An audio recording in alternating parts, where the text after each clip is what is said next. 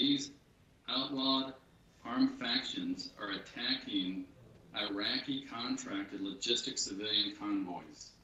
وهذه المجاميع الخارجة عن القانون تقوم بهجمات ضد آه، القوافل اللوجستية التي آه، تقوم بنقل الدعم اللوجستي من آه، للقوات الأمن العراقية من أجل إتمام هذه المهمة.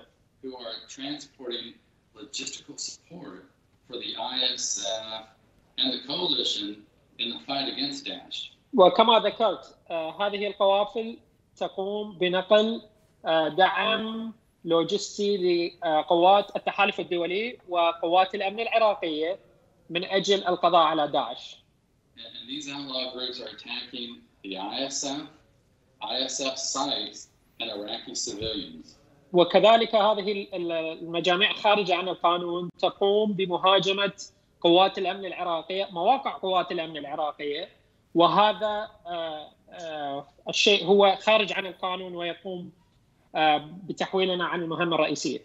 And the coalition acknowledges an increase in low-level attacks against the ISF, and the, the U.S. Department of State is working with the government of Iraq to lessen these attacks.